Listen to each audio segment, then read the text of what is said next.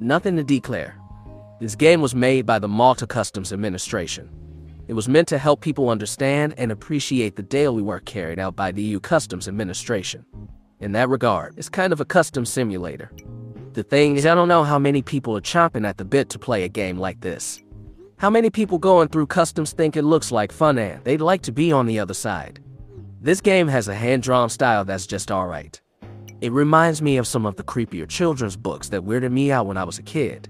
The main focus here is interrogating people and scanning their luggage.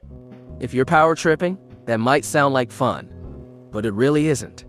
This gets a 4 out of 10.